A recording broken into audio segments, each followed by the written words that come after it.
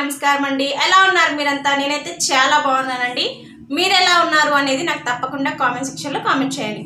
And ఈరోజు వచ్చేసి మీ అందరి కోసం ఒక మంచి బ్రేకింగ్ న్యూస్ తీసుకొచ్చానండి. అది ఏంటి అంటే జపాన్ శాస్త్రవేత్తలు కొత్తగా కృత్రిమ రక్తాన్ని తయారు చేశారట. సో దాని గురించి ఈరోజు మనం మాట్లాడుకోబోతున్నాం. సో అంతకంటే ముందు మీరు కనుక నా వీడియోస్ కనుక మొదటిసారిగా చూసినట్లయితే ప్లీజ్ నా ఛానల్ని సబ్స్క్రైబ్ చేసుకోండి. పక్కనే ఉన్న బెల్ ఐకాన్ క్లిక్ చేయడం వల్ల నేను చేసే ప్రతి ఒక్క వీడియోస్ నోటిఫికేషన్స్ రూపంలో మీకు చేరిపోతుంది.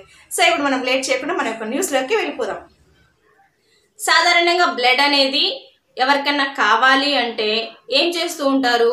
ముందుగానే ఆ సేమ్ టైంకి డోనర్ అనే వాళ్ళు దొరకరు కాబట్టి ముందుగానే బ్లడ్ అనేది స్టోర్ చేసుకుంటారు. స్టోర్ చేసుకున్న తర్వాత వాటిని ఈ ఎవరికైతే బ్లడ్ అనేది అవసరమో వాళ్ళకి ఇస్తూ ఉంటారు. సో ఈ ప్రాసెస్లో ఏంటి అంటే బ్లడ్ అనేది ముందుగానే స్టోర్ చేసుకుంటున్నారు కాబట్టి ఈ స్టోరేజింగ్ ప్రాసెస్లో బ్లడ్ కదలడం వల్ల ఏంటి అంటే ఫోర్ డేస్ మాత్రమే దాని యొక్క సఫలత అనేది ఉంటుందన్నమాట. వ్యాలిడిటీ ఉంటుంది. సో ఇన్ కేస్ ఉష్ణోగ్రత కనుక చక్కగా ఉన్నట్టు ఉంటే అప్ టు ట్వంటీ డేస్ వరకు దాని యొక్క సఫలత ఉంటుందన్నమాట. సో ఇన్ కేస్ ఆ తర్వాత ఆ బ్లడ్ కనుక వాళ్ళ పేషెంట్స్కి ఎవరికైనా ఇచ్చినట్టయి ఉంటే సైడ్ ఎఫెక్ట్స్ లాంటివి లేదా తీవ్రంగా ప్రాణాన్ని కోల్పోవడం లాంటివి జరుగుతూ ఉంటాయి.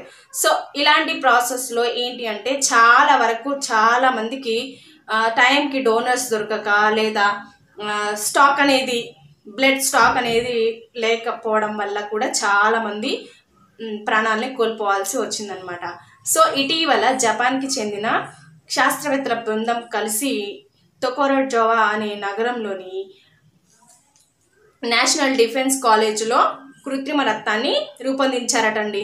సో ఈ రక్తం వచ్చేసి ప్రతి ఒక్క గ్రూప్ వాళ్ళకి ఇది ఇవ్వచ్చట. అంటే సేమ్ గ్రూపు సేమ్ గ్రూప్ గ్రూప్కి సేమ్ బ్లడ్ అనేది ఇవ్వాలి కదా.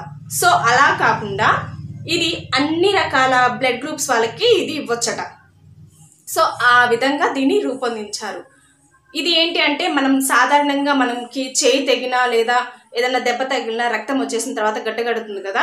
సో అదే విధంగా దీంట్లో కూడా రక్త కణాలు అనేవి ఇంకా సేమ్ బ్లడ్లో ఉన్న క్వాలిటీస్ అన్నీ కూడా దీంట్లో ఉండేలాగా రూపొందించారటండి. సో ఈ ప్రయోగం అనేది ఈ కృత్రిమ రక్తాన్ని ముందుగా వచ్చేసి కుందేలు మీద ప్రయోగించారటండి.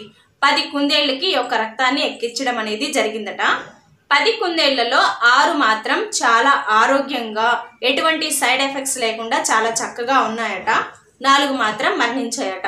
సో ఈ ప్రాసెస్లో వాళ్ళు ఇంకొంచెం ముందుకు వెళ్ళి ఈ ఈ యొక్క ఇంకా ఏమన్నా చిన్న చిన్న లోపాలు ఉన్నాయేమో అనేసి ఇంకా కొంచెం ముందుకెళ్ళి ఈ యొక్క పూర్తి రీసెర్చ్ అనేది ఫినిషింగ్లో ఉందన్నమాట. సో ఈ ఈ రీసెర్చ్ అనేది చాలా సక్సెస్ఫుల్ అయితే ప్రపంచంలో ఉన్న ప్రతి ఒక్కరికి డోనర్స్ దొరికినా దొరకకపోయినా ఈ యొక్క బ్లడ్ అనేది ఎక్కించడం వల్ల అందరి ప్రాణాలు చక్కగా ఉంటాయి కాబట్టి. సో ఈ ప్రాసెస్ అనేది ఈ రీసెర్చ్ అనేది చాలా సక్సెస్ఫుల్గా అవ్వాలని మనం అందరం కలిసి కోరుకుందాము. ప్రతి ఒక్కరు కూడా నిండు నూరేళ్ళు చక్కగా హాయిగా ఆయుర ఆరోగ్యాలతోటి వర్ధిల్లాలని కోరుకుంటున్నాను. సో మీరు కూడా అలాగే విష్ చేయండి. ఈ రీసెర్చ్ సక్సెస్ఫుల్ అవ్వాలి అనేసి. సో ఇది అండి ఈ యొక్క న్యూస్ అనేది. మరో వీడియోలో మళ్ళీ కలుసుకుందాం. Till then bye bye take care